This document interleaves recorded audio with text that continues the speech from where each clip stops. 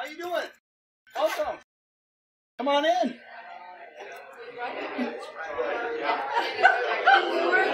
Welcome. How are you?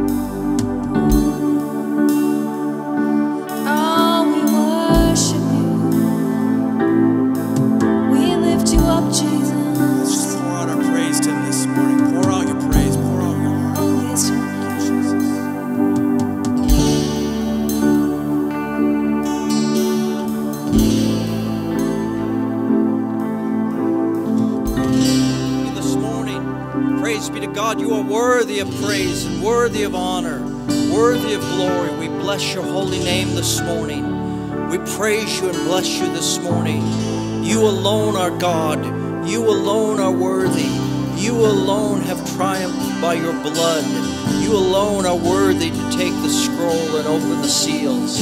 We thank you that you redeemed us out of every tribe, kindred, nation, and tongue to be a priest unto our God, that you have washed us in the blood of your Lamb, and you have made us white, and you have sanctified us and called us out of the darkness into the light of Jesus Christ our Lord. Oh, we give you praise. We give you praise. We give you thanksgiving today. Worthy are you, Lord. Hallelujah. Hallelujah. Let's sing that chorus one more time, guys. Hallelujah. Holy, holy. Holy, holy Yeah. is the Lord. Holy, holy, holy is the Lord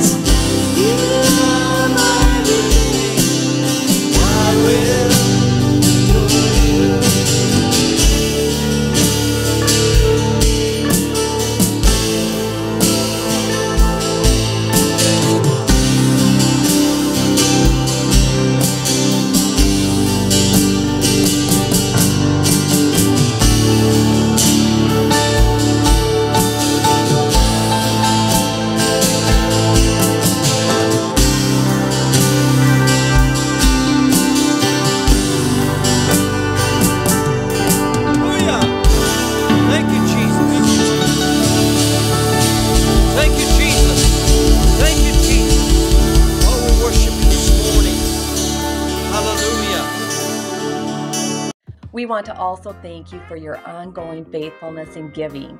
You can actually give in three different ways.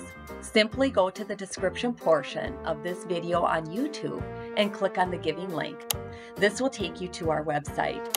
From there, you can give securely through PayPal. There is no account required. Or you can also download the Givelify app, find Living Faith Church, Exeland, Wisconsin, or simply mail a check or money order to Living Faith Church, P.O. Box 65, Exeland, Wisconsin 54835. Please remember to pray for our nation and our leaders, along with our LFC missions families in Tanzania, Africa, India, Mexico, and Honduras. Thanks, everyone.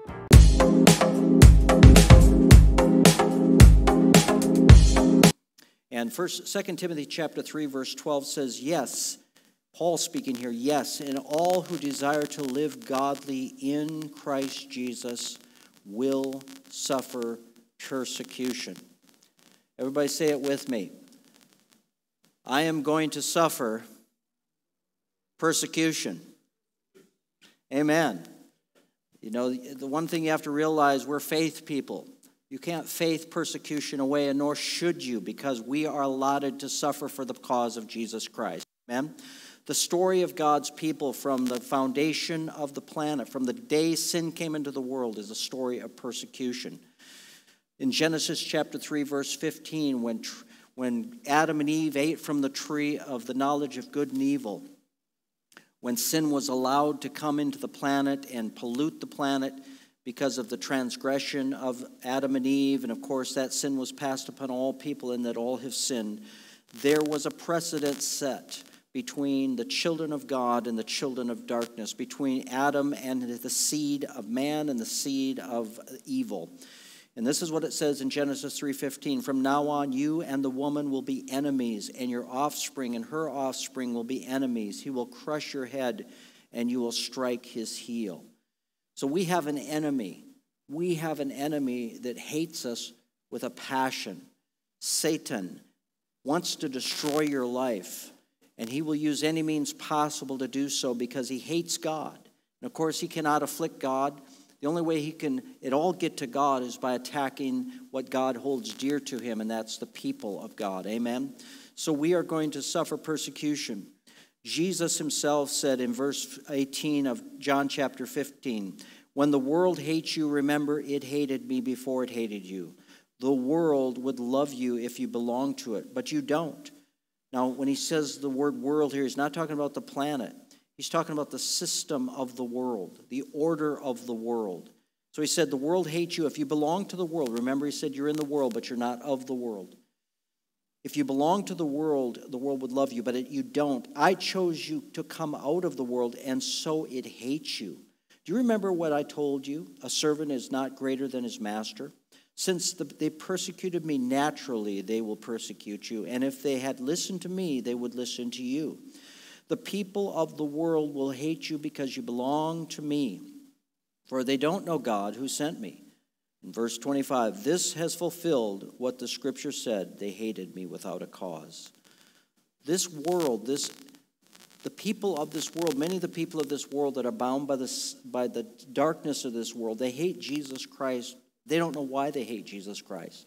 They hate Jesus Christ because their deeds are evil. They hate Jesus Christ because they are under the sway of the prince of the power of the air, the spirit who now works in the sons of disobedience. Now, Jesus said, You're either for me or you're against me. Now, I'm not saying that every single person on the planet who's not a believer overtly hates Jesus Christ. But Jesus himself said, If you love me, you will keep my commandments. Jesus himself said, By this we know those who are of God. Those who love me obey my voice, will keep my commandments. So Jesus himself said the world's going to hate you.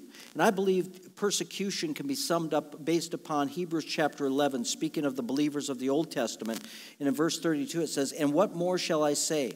For the time would fail me to tell of Gideon, Barak, Samson, Jephthah, also of David and Samuel, and of the prophets, who through faith subdued kingdoms, worked righteousness, obtained promises, stopped the mouth of lions, quenched the violence of the fire, escaped the edge of the sword, out of weakness were made strong, became valiant in battle, turned to flight the armies of the aliens. Women received their dead raised to life again, and others were tortured, not accepting deliverance, that they might obtain a better resurrection. Still others had trials of mockings and scourgings, yes, and of chains and of imprisonments. They were stoned, they were sawn in two, they were tempted, they were slain with the sword. They wandered about in sheepskins, goatskins, being destitute, afflicted, tormented, of whom the world was not worthy. They wandered in deserts and mountains, in dens and caves of the earth. So if you look at that scripture, what does that tell you? It tells you, as I said before, much of the scriptures are written from a position of people who are under great duress and, and suffering to a people that are under great duress and suffering. So the history and the story of faith is a story of perseverance, a story of, of persecution, and a story of God bringing his people through persecution and trouble. It is a story of God delivering his people out of darkness and out of great trouble. So we have to remember there's two, two aspects of God's working with his people. There are times where God supernaturally has delivered his people. And we're going to look at several of those stories today, where God, in, in the face of adverse circumstances, great uh, certain death, God has delivered his people. But there are many times where God has not delivered his people, where people have faced persecution and given their lives for their faith. Are the ones who were delivered of greater faith than the ones who died and suffered for their faith? No. Why did God deliver one and didn't deliver the other? I don't know. That isn't our lot to determine. But the fact of the matter is, those who stayed faithful, even in the face of absolute suffering and death, will receive even the greater reward because they remain faithful to the end. We have to understand as believers that suffering persecution is part of the Christian faith because we live in a fallen world. Now, in the Western church, the modern church, we don't like to even talk about persecution. This month, again, the first Sunday of the month, when we had our brother from Brother Ron Langert from Ukraine was sharing his testimony of growing up under communism and suffering under fascism and all the suffering they went through because of wicked people. Um, that was the day, International Day of Prayer for the Persecuted Church. And again, we're talking about persecution because, as we've said before, the month of November, we like to remind ourselves and be reminded and remind you of the persecuted church around the world. The believers are suffering persecution. Now, again, we have suffered very little persecution, in many cases, no persecution in America for our faith. Now, we do see the tides of that beginning to turn. We see that people are losing their jobs because they will put on, uh, maybe say something at their work about Christ and be fired, or maybe people will put down an application. And we know of Christians right now that are not stating that they're Christians on their applications to jobs because they know that will cost them employment. So we see the tides that this country is becoming more and more hostile to the Christian faith especially those of us who hold to the fact that Scripture is infallible, that it is our final authority, and we will not compromise our faith for the culture. That is not a popular position right now. And there are those who would gladly silence our voice and have us gagged where we could not even speak. All we have to do is look north of the border in Canada, and we will see that Canada has a hate crimes law, that you cannot speak against anything in Canada if you critique another religion, if you stand up and say, Well, I disagree with this particular lifestyle, that's considered hate speech. And as such, you can be arrested, you can be imprisoned, you can be fined, and it's happening to our brothers and sisters all over Canada and has been happening for some years. And the Canadian believers in the churches in Canada have been warning the United States, saying, This is coming to your country as well. And it has come to America. And we know that we have the, fr- the freedom of religion and we have the freedom of free speech, but we can see clearly in the last year, especially in the last few years, how that freedom has been under assault for some time. We see that kids in public high schools, public elementary schools, we see kids in colleges constantly having to defend their faith, being expelled, being barred and banned from college uh, activities. Number of college campuses in the hundreds, literally, where lawsuits have been had to come before courts because people's freedom of religion, and specifically their freedom as Christians to exercise their religion, has been barred and banned and under assault on campuses. So we know that there's a growing hostility toward our faith. To what degree is persecution going to come to the shores of America? We are not really sure. It depends on which way the political winds blow. Again, I said in the last few weeks, I said politics are very important because politics and elections have consequences. The wrong people in power can cost us our freedom and freedom of speech and freedom of religion. Our Constitution is in a very precarious place right now. Again, just look at what's going on in Australia right now. Look at what's going on in New Zealand. Look at what's going on in Austria. It's fascism. Fascism is again raising its ugly head. Look at what's going on in America. This is fascism. We have people in America today that are basically no different than the brown shirts of Nazi Germany. That'll strong arm people into submission. Pastor Harlow had mentioned about the recent ruling of Kyle Rittenhouse and the fact that people, uh, there, is a, there is an attitude among far leftists today that if you either you do not acquiesce to their worldview, we will bulldoze you into the ground. We will destroy your reputation, we will destroy your livelihood, and we will destroy you if you do not acquiesce. That's nothing more than fascism, which is of the spirit of Antichrist. So, persecution is something we as the church of the Lord Jesus Christ have to realize that this is something we need to start embracing and not running from.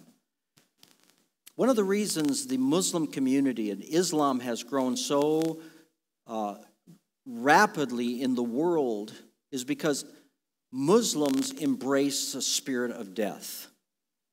Now, I'm not saying all Muslims, but you have three groups of Muslims in the world. You have you have basically uh, what we would commonly refer to in many Western societies as moderate Muslims. Many American Muslims today would be called liberal or moderate Muslims. They're much like liberal Christians. They don't really practice the Quran, just like many Christians in America don't practice the Bible. They don't really look at the Quran as the authentic word of Allah, just like many professing Christians in America don't look at the Word of God as the authentic Word of God. They look at it as like, yeah, it's a good moral book, but Jesus didn't rise from the dead and it's not supernatural.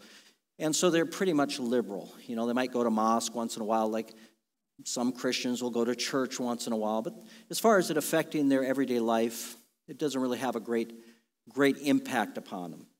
And that's where a lot of Muslims in America are at.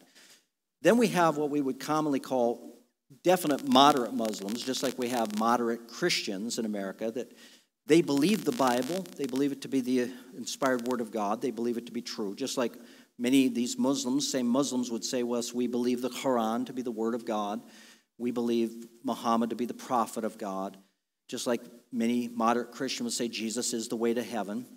And, uh, but these aren't radicalized Muslims. These are not Muslims that are going to take the entire Word of God and go out and chop your head off. You know, that they're not radicalized. Even though most of the moderate Muslims believe, when we hear people say, like, well, 99% of Muslims are peaceful, that's really not true. Because if you look at what most moderate Muslims really believe, they do believe that homosexuals should probably be stoned. They do believe in certain things that we would, Western civilization today would go, no, that's, that's not right. Um, so, but then you have what we call fundamentalist Muslims or radicalized Muslims. And these are Muslims that take the Quran literally. They believe the Quran is the word of Allah and they're to follow it through. And if you follow the Quran in that context, the Quran talks about killing infidels, killing those who do not submit to the book. And that means Christians and Jews. And these are the dangerous Muslims. These are the Muslims that are lighting Christians on fire. These are the Muslims that are throwing battery acid in people's faces. These are the Muslims who are killing their children who commit apostasy by becoming Christians. These are the Muslims that would stick a knife in your chest if you insult the Prophet Muhammad. And these are dangerous Muslims. And uh, there are a lot of these folks around the world. The national media, the world media wants to tell us that this is just a small, small, small fraction of Muslims, but the truth is, we're talking about uh, quite a few billion Muslims in that category. And so, this group of Muslims, especially, embrace a spirit of death because they have no assurance of salvation. Because the Quran does not give you assurance of salvation. One of the major differences between Christianity and Islam is that in Christianity, we have assurance of salvation. We have assurance that Jesus Christ paid for our sins and was the substitutionary death, substitutionary sacrifice for our sins. And as such, we can rely on the sacrifice of Christ to take away our sins. Muslims have no assurance of salvation. There is no such thing as assurance of salvation in Islam because Islam is a religion of works. And even if you work to the greatest degree that you have and you're extremely devoted to, to Allah under Islam, you still have no assurance of salvation. And because of that belief and no assurance of salvation, this is what will motivate many Muslims to uh, strap a bomb to their chest and blow themselves to kingdom come in the name of Allah because they believe if they die in jihad, eternal life in the kingdom of Allah will be their destiny. And so when you embrace a, a religion and a faith of death, it's very difficult to battle that because that is a point of you have basically, as the Apostle Paul said, I am dead to this world.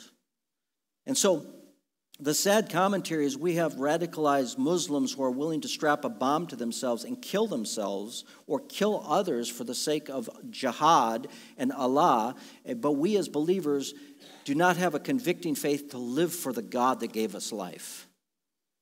So that's a very difficult thing to combat. And one of the reasons the Western church has had a difficulty keeping up, especially with Muslims and Islam in the West, because Islam is outgrowing Christianity in the West dramatically, And you may wonder why would, why would Islam be outgrowing Christianity when we have a God who is a God of love and a God who gives people assurance of salvation? I'll tell you why because Muslims are very passionate and radical about their faith. They're not ashamed of their faith. And they have embraced a real dogmatic form of, of, of Islam that motivates them, whereas Christians have not been willing, we in the West have not been willing to embrace the aspect of persecution. We're afraid if somebody speaks evil of us. We're afraid if somebody doesn't like us. We're afraid if we speak something to somebody and we offend somebody. The Bible says the fear of man brings a snare. And so fear is a great weapon that the enemy uses against believers to shut our mouths. And of course, intimidation. Well, you better keep your mouth shut or you're going to lose your job. You better keep your mouth shut or you're going to lose your friends. You better keep your mouth shut or this person will cut you off. When in reality, what we should really be doing is making sure our mouth isn't shut, except at the appropriate time. Amen? Well, we should never be intimidated. And the reason we're intimidated often is because we haven't really been willing to embrace persecution. And this is why I'm preaching about persecution. And I'm not standing here as a believer saying, Yeah, I've got this all down.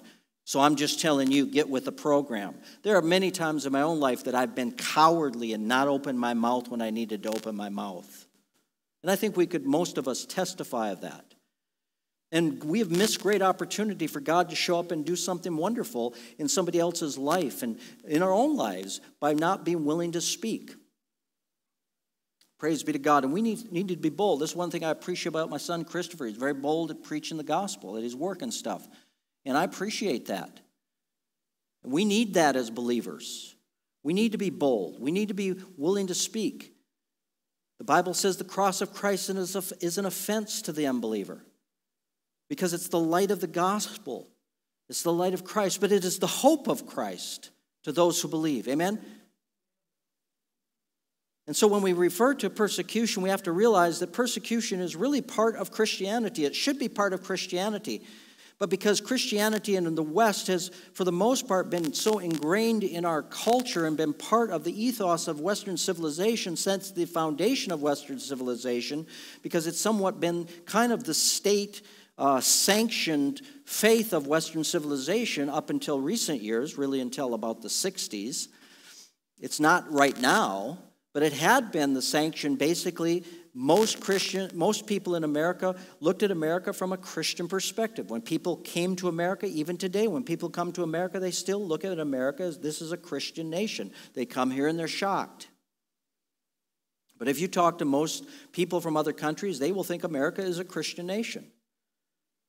And we used to portray ourselves as a Christian nation for the most part. But of course, we know that because of secularism and the degrading of, of spiritual truth and the weakening of the Church of America and, uh, and public education and a whole myriad of different aspects, that is not the case where Christianity is no longer the driving ethos of American culture today. It's for the most part pagan secularism. We're a postmodern Christian, we're a postmodern country, post, post-Christian country even though there are many, many Christians. There's somewhere in the vicinity of about 60 to 80% of Americans who profess to be Christians. That's pure nonsense. There is no way there's 60 to 80% of Americans that are Christian. There's just no way. If they are, they're the poorest excuse of Christians I've ever seen in my life with what's going on in America, and what's been going on. We have no idea really how many true Christians are in America anymore. Because even in evangelical circles, that are professing to believe the Bible, they have compromised the integrity of the Word of God. But we don't want to get too far off on that this morning. But mainly, what I wanted to talk about is persecution. Jesus often spoke of persecution. We looked at a scripture if the world hates you, know that it hate, hated me first and it's going to hate you. In Exodus chapter 1, verse 8 through 11, it says, Then a new king came to the throne of Egypt who knew nothing about Joseph or what he had done. He told his people, The Israelites are becoming a threat to us because there are so many of them. We may find a way to put an end to this if we don't, and if war breaks out, they will join with our enemies and fight against us. Then they will escape from the country. So the Egyptians made the Israelites their slaves and put brutal slave drivers over them, hoping to wear them down under heavy burdens. So we see that the people of God, when they came down to Egypt, they were people of freedom and liberty, and I preached about this quite a bit. I think there's a lot of parallelisms between what happened to the people of God in Egypt as compared to what's happening in America today. The people of God, when they came into Egypt, they were separated from the culture of the Egyptians. They were separated from the paganism of the Egyptians. The people of God, the Jewish people, lived in Goshen, uh, separate from the culture.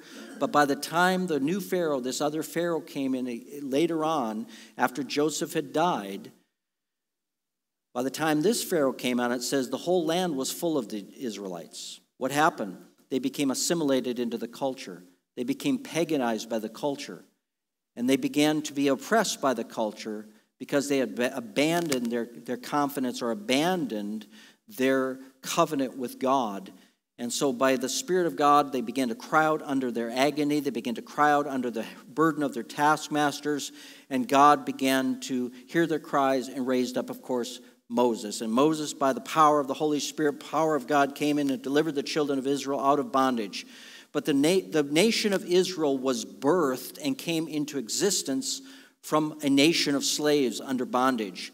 They came out of Egypt with Jacob, they came out of Egypt, the seed of Jacob, and out of that seed, God made the nation of Israel. He literally formed a nation that he birthed out of bondage and created a nation, much like the United States of America. Again, parallelisms between the United States and Egypt.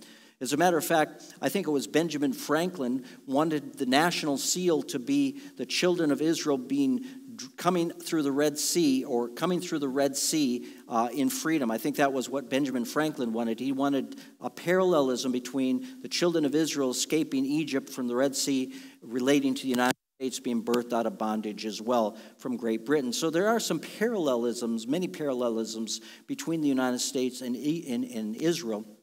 But God birthed this nation of Israel as a nation out of bondage. Glory to God.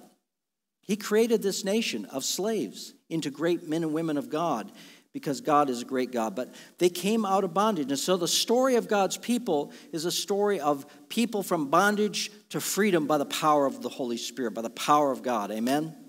We see later on in Israel's life in Israel's, the nation of Israel, what happened? Well, God told them, if you obey my commandments and you hearken to the voice of my word, then these blessings will come upon you. You'll overcome. You'll be the head and not the tail. You'll be above and not believe, beneath. Uh, you'll go out against your enemies and they'll flee from you. You'll lend to many and not borrow. But he goes on in Deuteronomy if you disobey these words of my commandment and you continue and you do like the nations around you that I'm driving out before you, what will happen? Well, you'll go out against your enemies and you'll flee from them.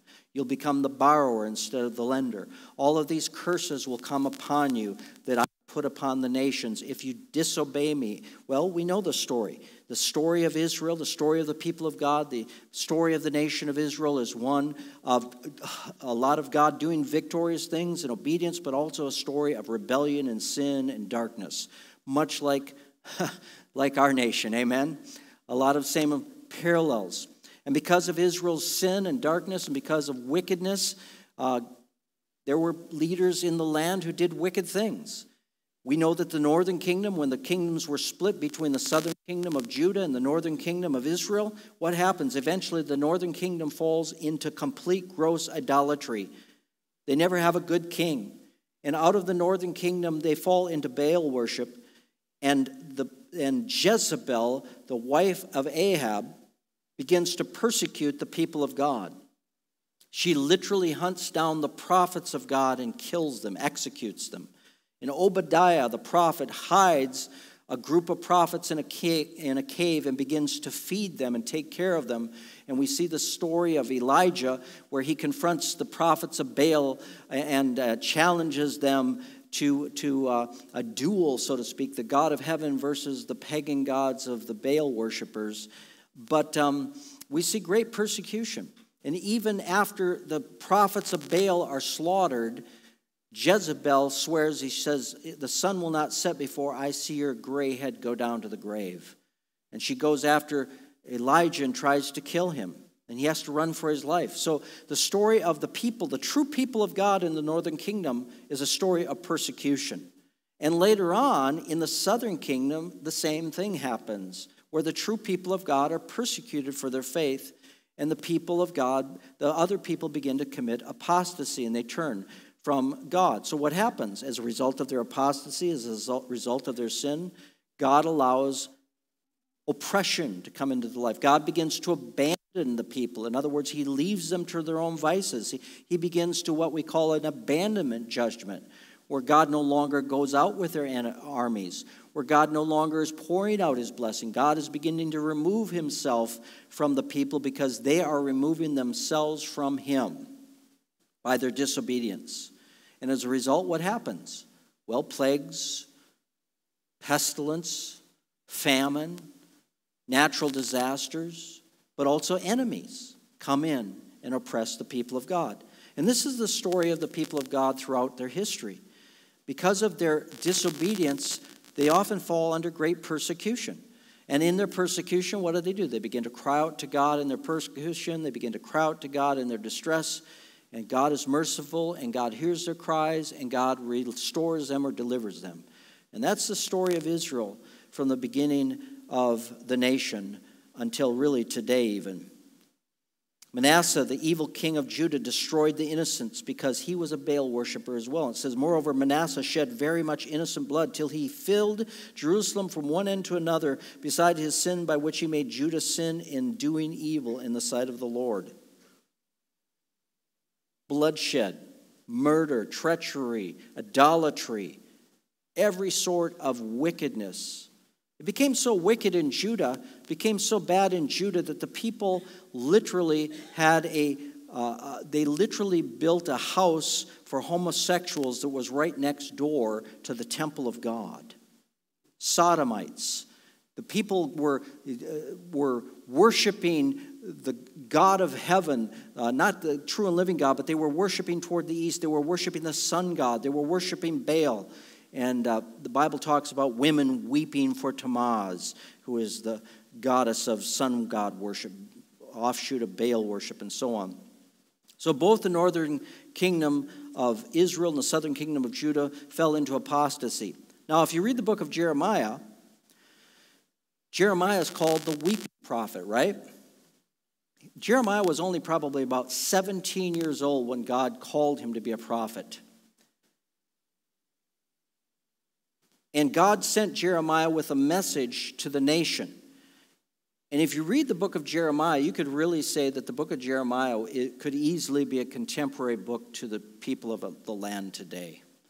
Because Jeremiah is calling for repentance and he's warning the people and he's warning the nation and he's saying, if you do not repent, if you do not turn from your sin, I am going to raise up the Babylonians and they will come in and they will destroy you. And he speaks this to the king, and he's persecuted. He's considered a traitor. He's considered a traitor because they look at him as colluding with their enemy, the Babylonians, but he's warning them.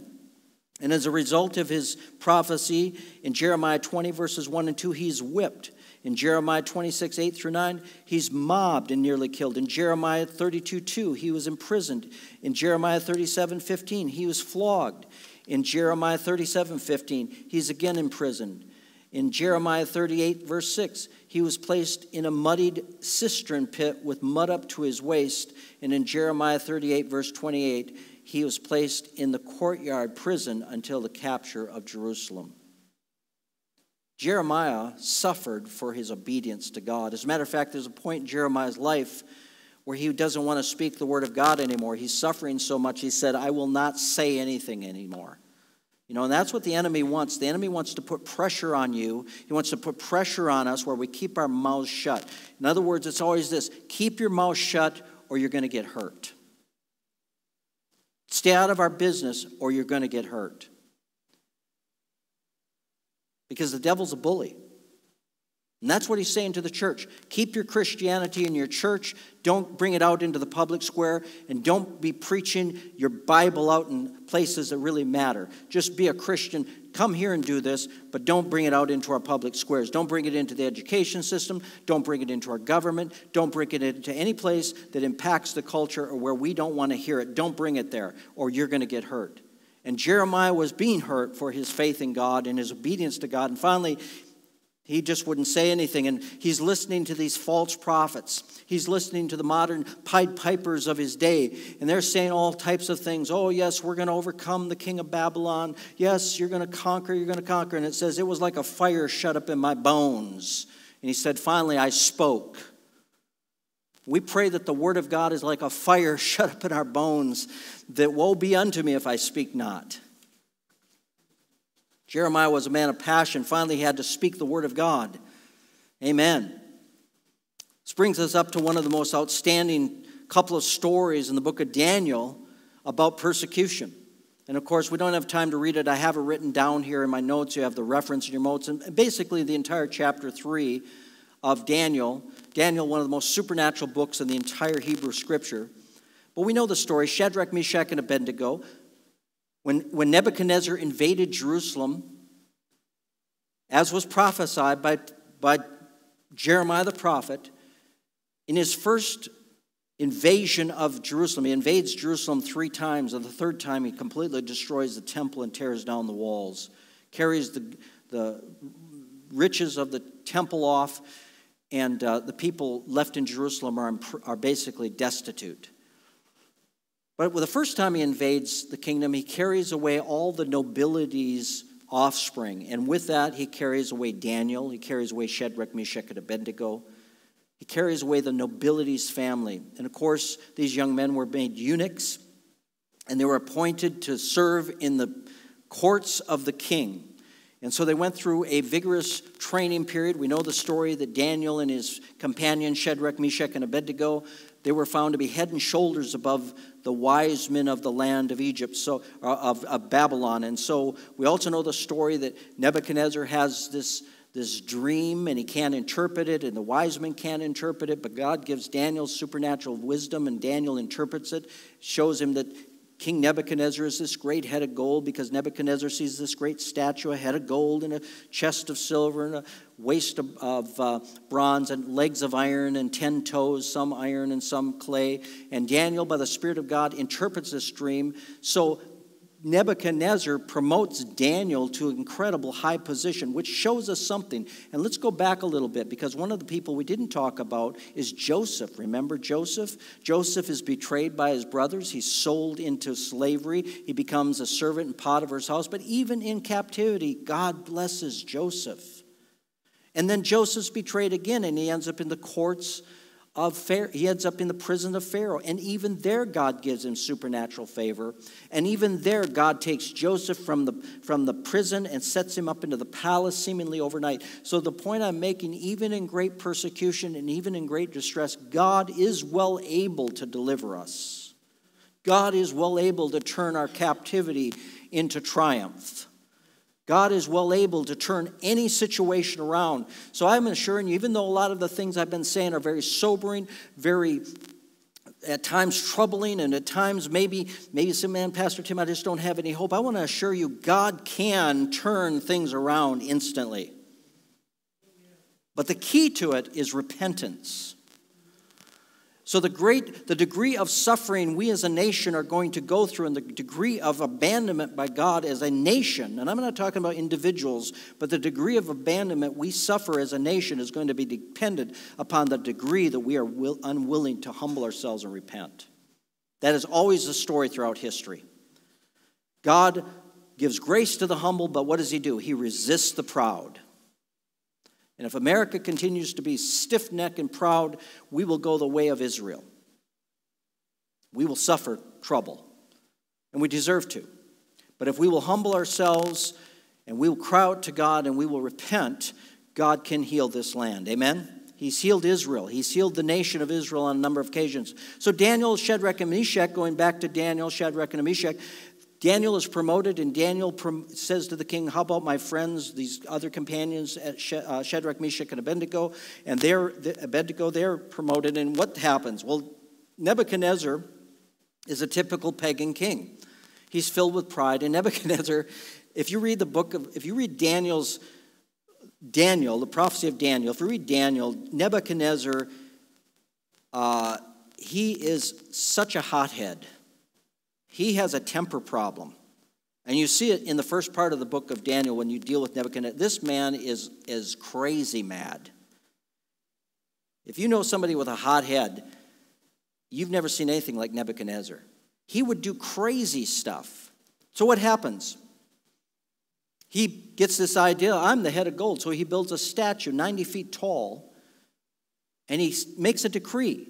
This is, this is the crazy thing about Nebuchadnezzar. Think of the crazy decrees these kings would make. There was obviously a spirit over that region, there was a spirit of death and darkness. These kings were ruthless. They didn't care about human rights. They killed people at the whim.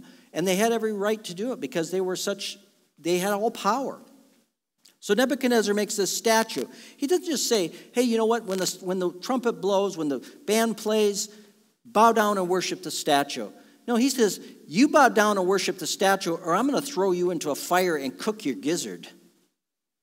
I'm going to heat up a furnace. If you don't bow down, you're going to burn.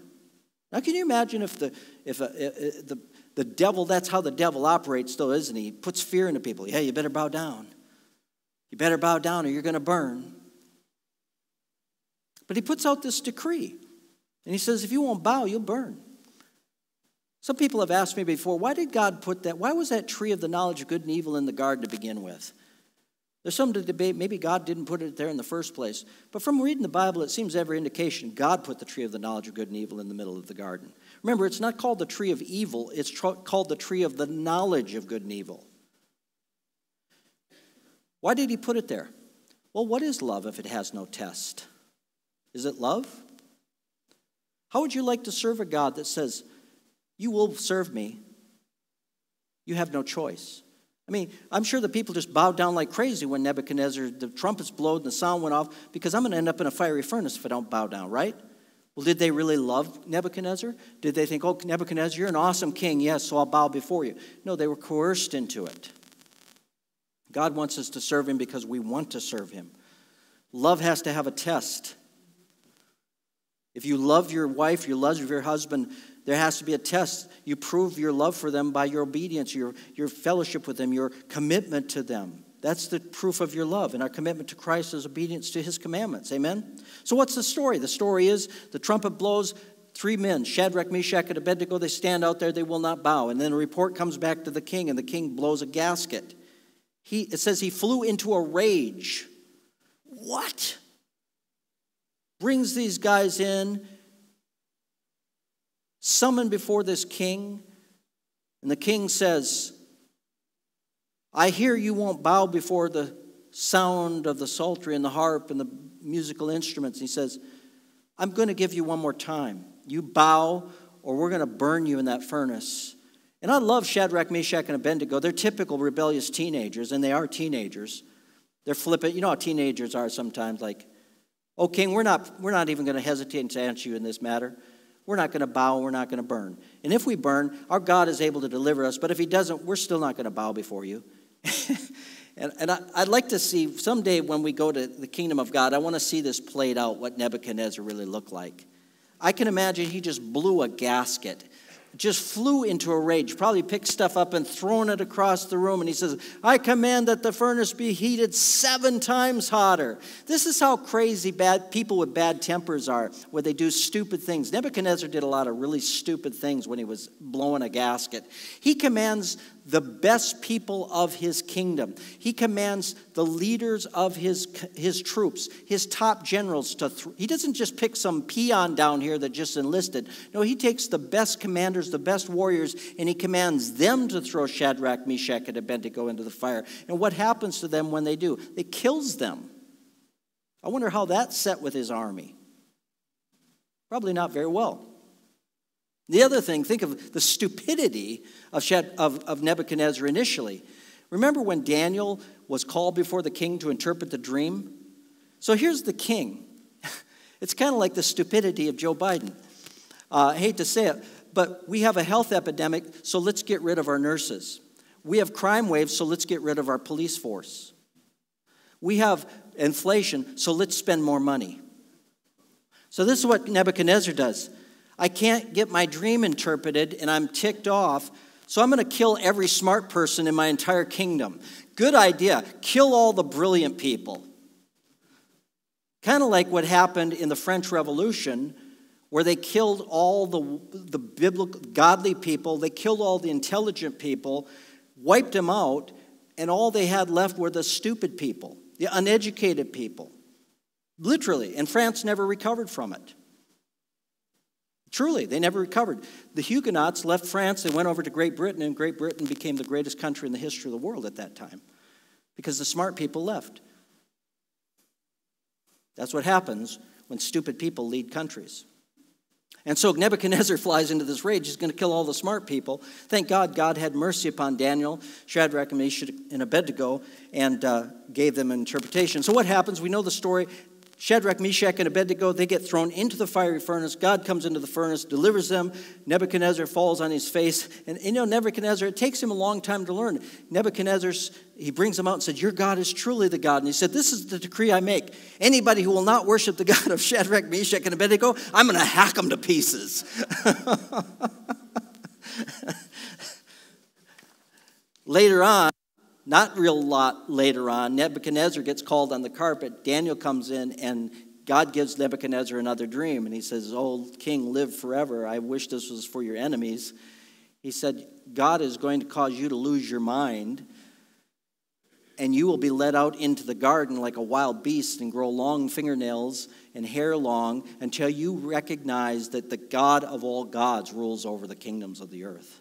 God humbles Nebuchadnezzar and he loses his mind and he eats hay and grass for somewhere along the line of seven years. They restore his kingdom. He comes back to his senses. And from that day forward, we never see Nebuchadnezzar again flying into some crazy rage and doing stupid things. He says, Truly, there is a God in heaven, and he rules over the kings of the earth.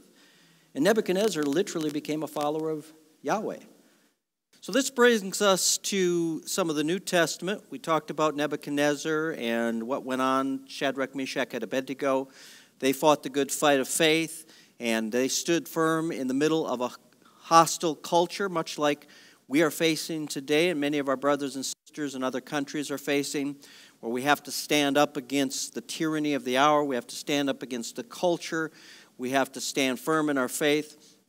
And let's share a little bit here this morning about of course, uh, the apostles. We know that seven of the 12 apostles of the Lamb, seven of Jesus' uh, disciples that he chose while on earth, of his original disciples, uh, were actually martyred for their faith in Christ. Peter, tradition has it that Peter was literally crucified upside down for his faith in Christ. James, the son of Zebedee, uh, was put to death by Herod Agrippa shortly before the day of Pentecost. Andrew uh, is reported to have been crucified at Patria in Achaia. Matthew, uh, there's a legend that he died as a martyr in Ethiopia. Thomas was martyred in Persia or India and is said to have been uh, run through by a lance. And James, according to tradition, James, the son of Alphaeus, was thrown down from the temple by scribes and Pharisees, and he was then stoned uh, and uh, in a gruesome way. Jude, according to tradition, Jude taught in Armenia, Syria, and Persia, where he was martyred. Uh, tradition tells us that he was buried in Kara Kalisa, and where he, which is now a modern day Iran. And John, the Apostle John, who wrote the Gospel of John and First, Second, and Third John, and is credited with the Book of Revelation. Of course, tradition has it that under uh, Diocletian, that he was boiled in oil but wouldn't die, and then as a result, he was exiled to the Isle of Patmos, where he recorded the letter of Revelation. And so, seven of the 12 apostles, as far as we know, were murdered for their faith in Christ. So, persecution was a trademark of the early church. It has been a characteristic of the body of Christ and Christians throughout the ages, and it most definitely is parcel and post with Christianity today all over the world. When we think of countries like northern India, where Christians are very severely persecuted by not only Muslims, but also radical um, Hindus, when we think of countries like Iran and Iraq and, and uh, different countries around the world, uh, uh, Nigeria, where somewhere in the vicinity of 350 to 400,000 Christians have been martyred for their faith in Jesus Christ. Persecution is a very, very real factor to Christians all over the world. And again, we in the West, while we face very little persecution, we see that persecution is on the rise because tyranny in the West is on the rise, especially when we consider what's going on in Australia right now, where Australia is basically come under complete tyrannical government. Uh, I think what we're seeing happening in some of these countries is very similar to pre World War II Nazi Germany, which is very disturbing. And of course, this is going to come upon Christians as well. Uh, according to the International Christian Concern, uh, these, these accounts are somewhat dated, uh, but uh, I just wanted to bring you up to date on some of these because very, very uh, apropos to what we're speaking about. Persecution of Christians today. There are more attacks on Christians in the last century than in all previous centuries combined. That means that there are Christians being persecuted. Uh, and again, Prager University put out a very excellent video uh, called The Most Persecuted People Group in the World, and that is, of course, Christians. And so there are more Christians being persecuted for the faith today. Some estimate that about 325 to 350,000 Christians every day are suffering either mild or severe persecution. And we're talking about everything from losing your job, uh, not being able to get a job, to being raped, murdered, um, and every sort of brutality under the sun that's happening all over the world. Today, 200 million um, Christians are imprisoned starved or murdered for their faith. And of course, again, I said this was data because today that's up to 325 to 350. And of course, this is taking place in over 50 countries of the world. There are over 50 countries of the world right now where it is illegal to be a Christian. And in many of those countries, it carries with it the death penalty for converting to Christianity. So we know that persecution is definitely going on all over the world today. And so we need to awaken the world, awaken the body of Christ, and uh, bring attention to this because the Western media pretty much ignores it.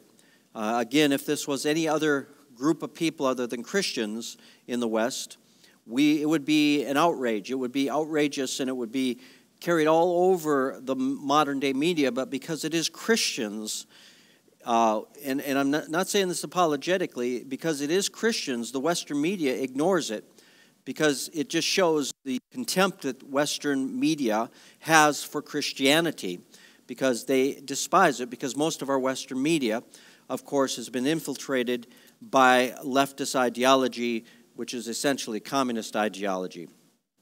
But we know that the church in the West is not going to escape persecution. Again, Jesus talked about uh, the time leading up and into the Great Tribulation, which we're living next door to.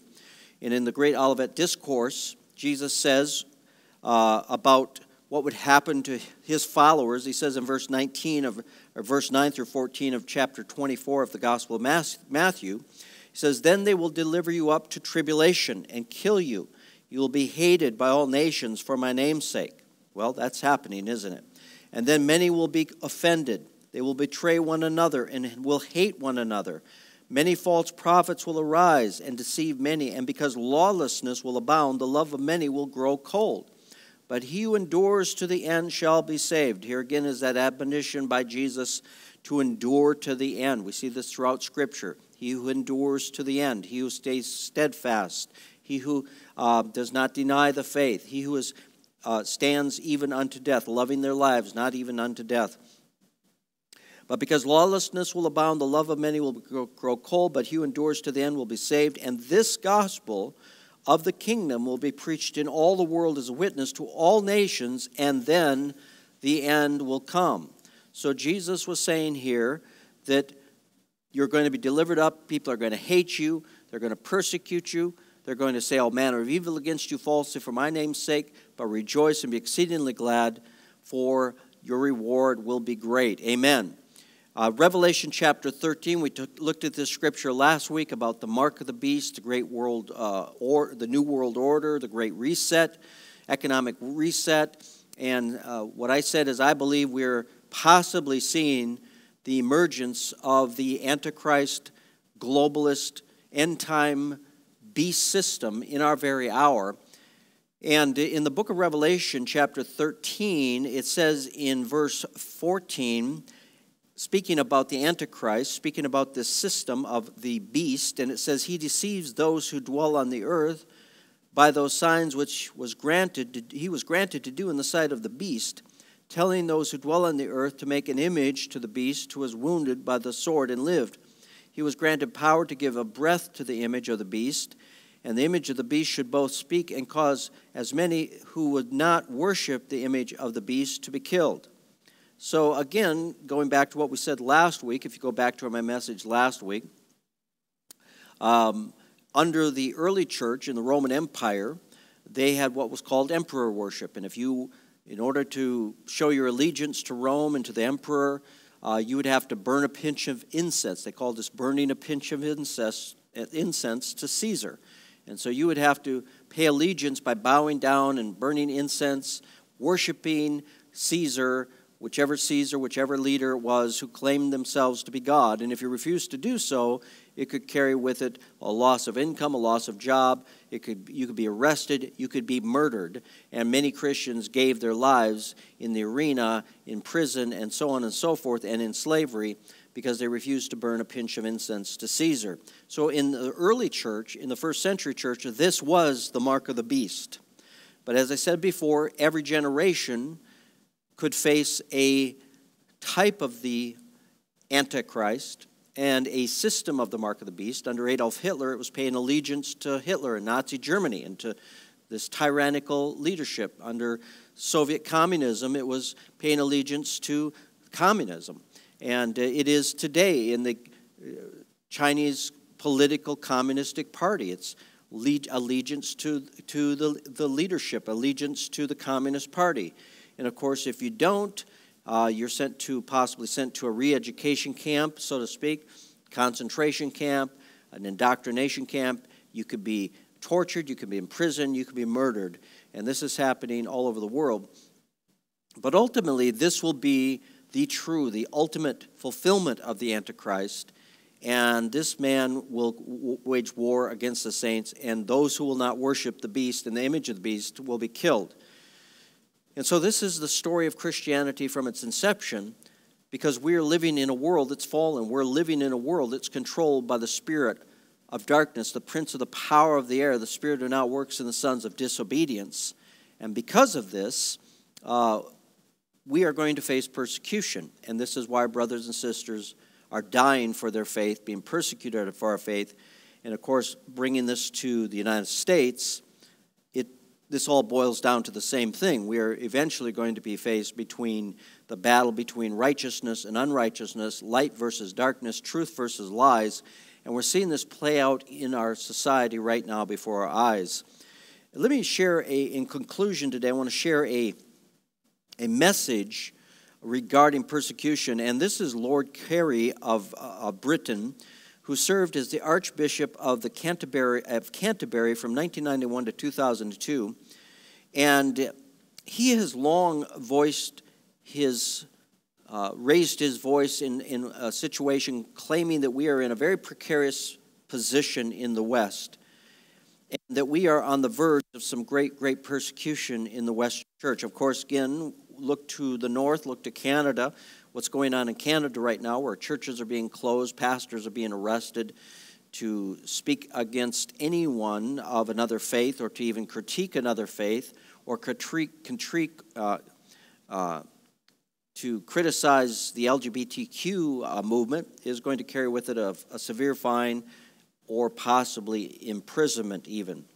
And he says the average Christian in uh, congregations over here or in the UK don't know enough about it, persecution, and are very often so focused on their own concerns, he stated, as he read, as readily points out, that the 20th century has become, there become more martyrs than any century before it. But most people don't even know this, and this is one of the reasons I'm raising my voice about this. Carey summarized the problem. They want to silence Christianity. They want to marginalize us. They want to silence us, and they want to intimidate us. And he goes on to warn Christians. Now, listen to this. This is what I want to get to. Don't lie down. If you behave like a doormat, don't be surprised if they treat you like a doormat. We got, we've got to rise up and actually be content, confident in our preaching and teaching to have a view on things. In other words, we have to have a backbone. We have to stand firm. We have to not compromise our faith and bow down to the pressures of the culture. And of course, this has been one of my contentions in the Western church, in the church in America, that there are too many pulpits in the American church that are afraid to speak truth to darkness, afraid to proclaim the righteousness of Christ because it's not popular and it's not going to win you points and people are not going to like you for it. So he says we need to take, a, take to the streets if necessary. In other words, nonviolent protest is a proper Christian way to behave. Now, again, think of Mahatma Gandhi, who literally led um, India in a transforming and liberating the nation through, through nonviolent protests. Uh, I think of the civil rights movement in America. Martin Luther King Jr., who literally brought about enough pressure because of nonviolent protests against uh, racism in America and Jim Crow laws in the South and, and, and, and discrimination that the Civil Rights Act was signed pressuring uh, Congress and pressuring this nation to change. And praise be to God, they did. I think some of that's going to have to take place in this hour. I think, again, of our brothers and sisters in other countries, in Australia, that are being severely persecuted for their faith and uh, basically under tyrannical government, and yet we in America, we pretty much stand by like sheep. Uh, they take away our rights, we do nothing. They close our churches, we do nothing. Uh, they you know, say you can't preach the gospel in schools, we do nothing. You, they say you can't pray here, we do nothing. What's it going to take to wake us up to the fact that we are willing to stand up for our faith? Again, I, I contend if this were Muslims, if, if we were seeing this kind of shutting down of mosques and so on in the Muslim community, there would be a great outrage, great outcry. And yet in the Christian community, we just go along with it as if we are supposed to obey the government and everything the government says, like dumb sheep led to the slaughter. Um, and this is what he's saying we can't do this. And he said the battle for the heart of religious freedom will continue to be fought in television, book, politics, not least of all in the courtroom. And um, so he talks about this. He says that the first thing they're going to do is marginalize you. And once they marginalize you, put you to the side, then they're going to discriminate against you. And once they discriminate against you, the next process will be they, they will persecute you. So, first they marginalize you, you're of no significance. Then they, excuse me, then they uh, discriminate against you. And finally, the last step will they will persecute you. Well, we're going to wrap it up here today. And I'm just urging you to consider what's going on in our nation and consider what's going on in the world, first and foremost, pray for our brothers and sisters. Excuse me. Pray for our brothers and sisters in other countries. The persecuted church around the world, the number one thing they ask of the church in the West is that we would pray for them. So we must remember them in our prayers, lift them up before the throne, speak about persecution.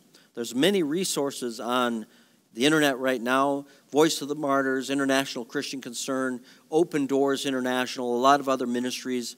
There's a myriad of resources out there that can give you information about persecution. Again, I'd urge you to go watch the Prager University video, the most persecuted people group on the planet. Um, very informative. So become educated. Get involved with some of these ministries and find out what's really going on with persecution in the world. So pray for our brothers and sisters who are being persecuted. Lift them up before the throne. Pray for them. Pray for their captors. Pray for resources and deliverance. Um, get involved with, with uh, being educated and educating other believers and other people about the plight of Christians around the world. Speak up for the defenseless. Um, the Bible talks about in Hebrews that remember those who are in chains as though chained with them. Uh, you know, I'm thinking about when Jesus said, I was in prison and you visited me. Uh, you can write letters to prisoners, uh, you can pray for them, and so on and so forth. Uh, and also financial support, if you can, for, su- support people. We, this month, of course, Living Faith Church, our special mission focus this month is is uh, the persecuted church. So if you'd like to give a special offering, those of you watching over the internet, you can go to our offering link and say, I'd like to support this offering for the persecuted church. You can put it in there, and that money, all the offerings will go to the persecuted church this month. So praise be to God. So pray, be informed, uh, wake people up, and support them uh, any way you can. And so, and of course, in our own country, stand up for the truth. Stop being cowardly. Stand up for what's righteous. Stand up for what's true. We are living in an age where there are voices trying to silence us, trying to pressure us to not speak up for what is right. And we cannot afford to be quiet. We cannot afford to be like sheep that are led to the slaughter. We must stand steadfast on numerous fronts and fight the good fight of faith. You know, we love people and we love even our enemies, but this does not mean that we are silent in the face of opposition. This does not mean that we simply cower because it will cost us something. Uh, we need to resist darkness, we need to resist the, the lies of the enemy, and we need to resist the temptation to fear man and fear the intimidation of the devil. Well, let's go ahead and pray because the most important thing is you know Jesus Christ. And if you're not right with Jesus Christ, you need to make sure you're right with Jesus Christ. Well, what good does it do to gain the whole world and yourself be lost or cast away. So I want to pray with you today. And if you never surrendered your life to Jesus Christ, giving Him full control of your life, today is the day. This is not the hour to be half in and half out of the kingdom. This is not the hour to be riding this, the fence. This is not the hour to be lukewarm. Jesus said, If you are lukewarm, I will spew you out of my mouth. This is the hour to be right with God. So if you want to get right with God today, I'm going to pray with you. And this simply means I'm making a commitment to Jesus Christ. Now, you can say this prayer and continue to live like the devil and continue to go about your own way, and this prayer will do you no good. But if you pray this prayer with me today and you make a wholehearted commitment to follow after Jesus Christ and surrender your life to Him and carry on with your faith in Christ, then your life will be transformed and you will be born again and you will be part of the kingdom of God. So this morning, let's pray. Heavenly Father, I pray for every person listening to this message today, and I pray that they would be convicted by the power of the Holy Spirit. I pray for boldness, Father, for them, and strength to stand firm and steadfast in this hour and not turn away from you. That that which they commit to you, you would keep unto that day. Now, I just want you to pray this with me. Heavenly Father, I know that I'm a sinful person. I know that I've broken your commandments and I ask for your mercy. I believe Jesus died for my sin, that he was raised from the dead, and is seated at the right hand of Almighty God. I declare from this day forward that Jesus Christ is my Lord, my Savior, and my Master. I renounce sin, I renounce the devil, and I renounce his kingdom and by your power, I will live for you from this day forward in the name of Jesus. Amen and amen. Those of you watching on the internet, I pray you'll click the subscribe button. That way you'll get notifications when we put a new video out and hit the like button if you like this message. God bless you all, and thanks for joining us today. Bye bye.